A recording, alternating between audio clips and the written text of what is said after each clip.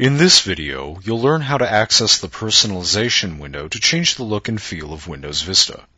Past versions of Windows allowed you to change the display information in the display properties. Windows Vista has reorganized the display settings and related information, including sounds and the appearance of the mouse pointer, into the personalization window. You can access the personalization window in one of two ways.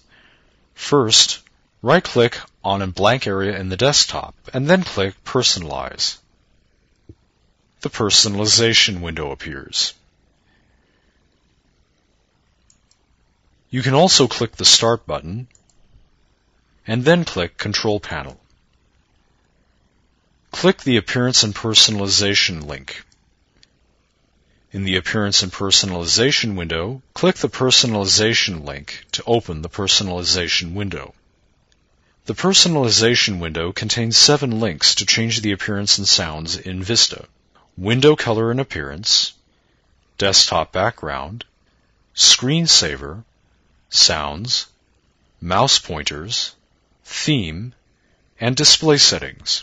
You'll learn how to use these links to change the Windows appearance and sounds, as well as other Windows settings, in this chapter.